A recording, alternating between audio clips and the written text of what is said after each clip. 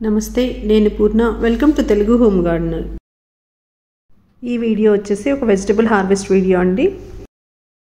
ఇక్కడ ఆకుకూర చూడండి ఎంత హెల్తీగా ఉందో. నేను ఒకటే పాట్లో ఆకుకూరలు వేసుకోనండి. ఇలా ప్రతి పాట్లో కొన్ని కొన్ని గింజలు అలా వేస్తూ ఉంటాను. తోటకూర కానీ గోంగూర కానీ లేదంటే పాలకూర.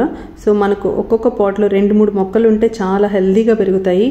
ఒకటే పాట్లో చాలా నారు పోసుకున్నాం అనుకోండి అంత గ్రోత్ సరిగా ఉండదు. ఇప్పుడు ఇక్కడ చూసారంటే ఇక్కడ కూడా రెండు మూడు మొక్కలే పాలకూర ఉంది. అంత బాగా వచ్చింది. మనం ఇంట్లో పండించుకున్న ఈ హెల్తీ లీఫీ వెజిటేబుల్స్ మనకు ఎంతో మేలు చేస్తాయి. మనము ఈ లీఫీ వెజిటేబుల్స్కి నైట్రోజన్ రిచ్ ఉన్న ఫర్టిలైజర్స్ ఇవ్వాలి. బియ్యము పప్పు కడిగిన నీళ్ళలో నైట్రోజన్ రిచ్ ఉంటుందండి. సో అలాంటివి డైల్యూట్ చేసి నేను ఈ లీఫీ వెజిటేబుల్స్కి ఇస్తుంటాను. చాలా హెల్తీగా ఉంటాయి పాలకూర కానీ తోటకూర కానీ సో ఇక్కడ మీరు చూసినట్టయితే కొన్ని ఉల్లిపాయలు పెట్టుకున్నాను. ఒక త్రీ పాట్స్లో ఆనియన్ ఒక త్రీ పాట్స్లో గార్లిక్ పెట్టుకున్నానండి. ఇవి హెల్దీగా పెరుగుతున్నాయి బట్ ఏంటో కొంచెం టిప్స్ లీఫ్ బర్న్ ఉన్నట్టుంది. ఎందుకో తెలియట్లేదు. నేనైతే వాటర్ కంటెంట్ తక్కువ అయ్యి అలా అయ్యాయి అనుకుంటున్నాను. వీక్లీ ట్వైస్ ఆర్ థ్రైస్ ఈ లీఫీ వెజిటేబుల్స్ కట్ చేసుకుంటూ ఉంటాము. ఫ్రైడ్ రైస్లోకి యూజ్ అవుతుంది కర్రీస్లోకి యూజ్ అవుతుంది.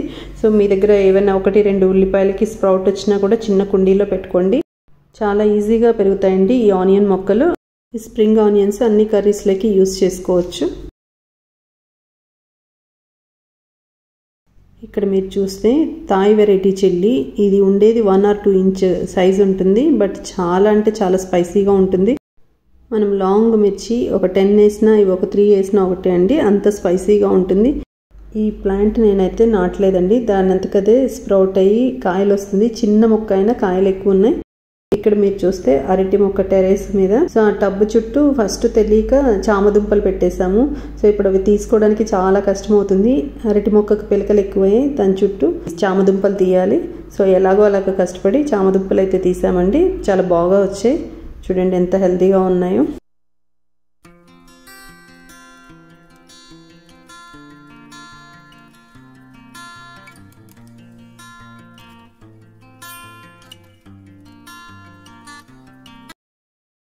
మనం ఈ చామదుంపలు అనేవి కరెక్ట్ టైంలో తీయలేదనుకోండి మళ్ళీ స్ప్రౌట్ అయిపోయి మళ్ళీ మొక్కలు వచ్చేస్తాయి. మనకు పసుపు ఎలాగో మనం గ్రౌండ్లో వదిలేసామంటే అవే జర్మినేట్ అవుతాయి కదా. ఇవి కూడా అంతే చూడండి ఆల్మోస్ట్ అన్ని స్ప్రౌట్ అవుతూ వస్తున్నాయి. ఒక ట్వంటీ డేస్ బ్యాక్ తీసేసి ఉంటే సరిపోయేది. ఇది మా బ్యాక్ యార్డ్లో ఉన్న చిల్లీ ప్లాంట్. ఎంత బాగా వచ్చిందో చూడండి చాలా హెల్దీగా ఉంది. అలాగే మిర్చి కూడా చాలా ఎక్కువ ఉన్నాయి. నేను పెట్టిన వెజిటేబుల్స్లో బాగా కాసే మొక్కలంటే చిల్లీ ప్లాంట్స్ అండి. నా దగ్గర ఎక్కువ చిల్లీ ప్లాంట్స్ ఉంటాయి. అలాగే చిల్లీ హార్వెస్ట్ కూడా ఎక్కువ చేస్తూ ఉంటాము. నేను ప్రతి వెజిటేబుల్ ప్లాంట్స్కి ఒక పుల్లటి మజ్జిగ డబ్బాలో పెట్టుకొని వాటిని డైల్యూట్ చేసి ఎక్కువ స్ప్రే చేస్తూ ఉంటానండి. నీమ్ ఆయిల్ కూడా ఎక్కువ కొట్టను. నీమ్ పౌడర్ మాత్రం సాయిల్ మిక్స్ తీసుకున్నప్పుడు అవి ఒక ఫైవ్ పర్సెంట్ యాడ్ చేస్తాను. అంతకుమించి నీమ్ ఆయిల్ ఎప్పుడు స్ప్రే చేయలేదు. ఏదైనా పురుగు వచ్చి లీఫ్ ఇదిగా ఉందనుకోండి ఆ లీఫ్ అక్కడికి తీసేస్తాను. లేదు అంటే ఇంకా పుల్లెట్ మజ్జిగ స్ప్రే చేసుకుంటూ ఉంటాను. అందుకని చెప్పి ప్లాంట్స్ ఇంత హెల్తీగా ఉన్నాయి.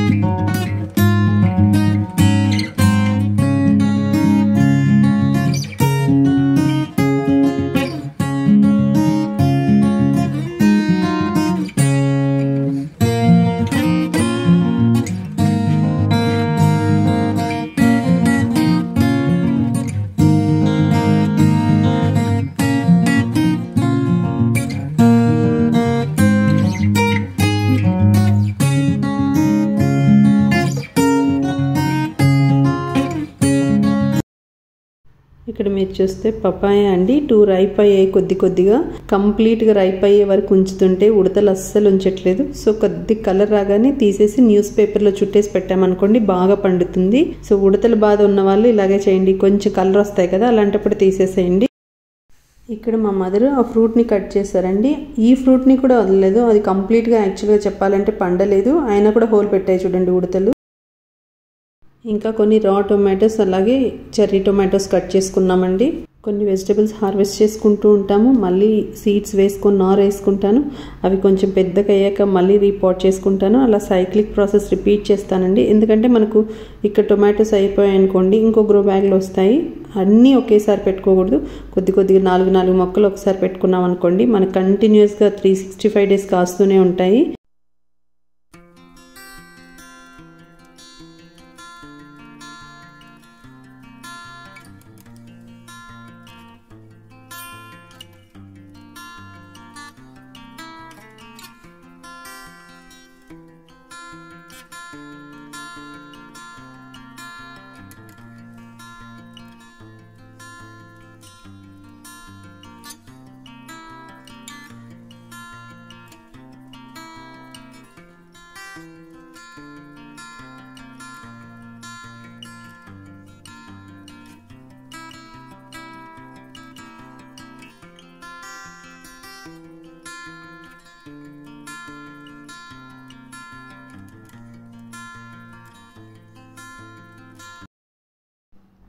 ఇక్కడ మీరు చూస్తే కొన్ని టొమాటో కొన్ని చిల్లీ ప్లాంట్స్ వేసుకున్నాను.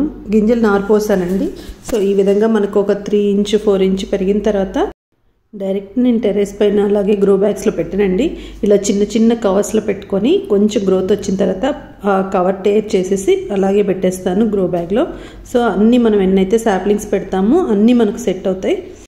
ఈ కవర్లో పాటింగ్ మిక్స్ వచ్చేసరికి కొద్దిగా శాండ్ కొద్దిగా ఎర్రమట్టి బాగా మాగిన పశువుల ఎరువు కొంచెం తీసుకున్నాను వర్మీ కంపోస్ట్ అట్లా ఫోర్ పార్ట్స్ తీసుకొని పెట్టాను. ఒక వన్ వీక్ వరకు పెద్ద మొక్కల కింద నీడలో పెడతాను.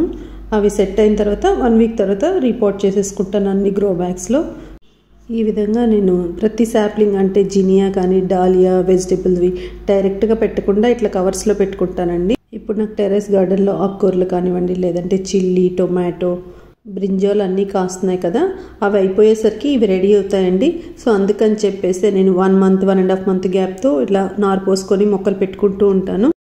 ఈ వీడియో మొత్తం చూడండి. ఈ వీడియో కనుక మీకు నచ్చినట్లయితే లైక్ చేయండి షేర్ చేయండి. కొత్త వాళ్ళు ఎవరైనా చూస్తుంటే సబ్స్క్రైబ్ చేసుకోండి. అలాగే మీ ఫ్రెండ్స్ అండ్ రిలేటివ్స్ కూడా ఫార్వర్డ్ చేయండి. Thank you. Thank you for watching my videos.